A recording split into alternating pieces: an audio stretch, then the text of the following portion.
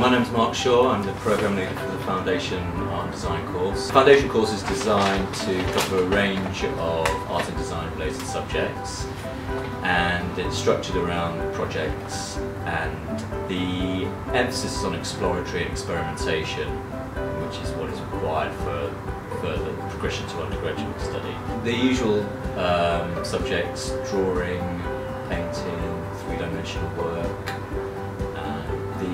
Projects are very open, so it enables students to bring their own individual uh, interests to the uh, project.